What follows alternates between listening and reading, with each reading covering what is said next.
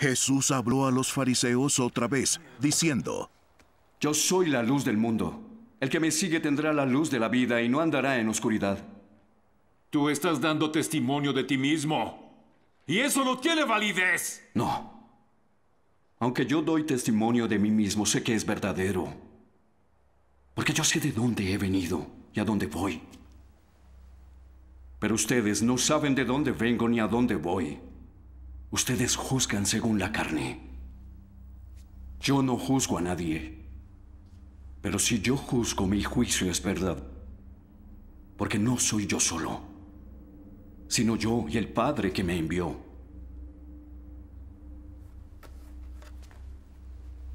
En la ley de ustedes, está escrito que cuando dos testigos dicen lo mismo, su testimonio tiene valor.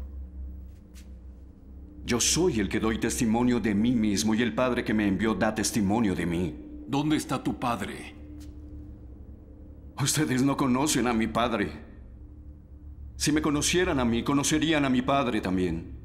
Estas palabras las pronunció en el lugar del tesoro, cuando enseñaba en el templo, y nadie lo prendió porque todavía no había llegado su hora.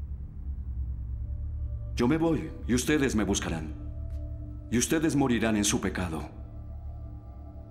A donde yo voy, ustedes no podrán ir. Él dice que no podemos ir a donde él va. ¿Acaso estará pensando en matarse? Ustedes son de aquí abajo, pero yo soy de arriba. Ustedes son de este mundo, pero yo no.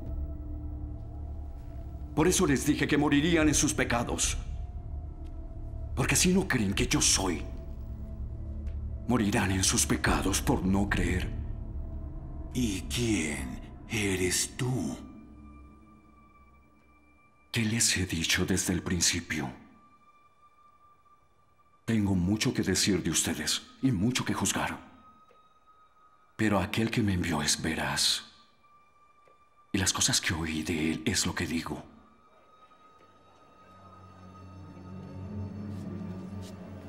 Ellos no comprendieron que les hablaba del Padre. Cuando ustedes levanten al Hijo del Hombre sabrán que yo soy quien digo que soy. Y que no hago nada por mi propia cuenta, sino que hablo solo las cosas que el Padre me enseñó. Y aquel que me envió está conmigo. No me ha dejado solo. Porque yo siempre hago lo que le agrada. Al hablar estas cosas, muchos creyeron en él.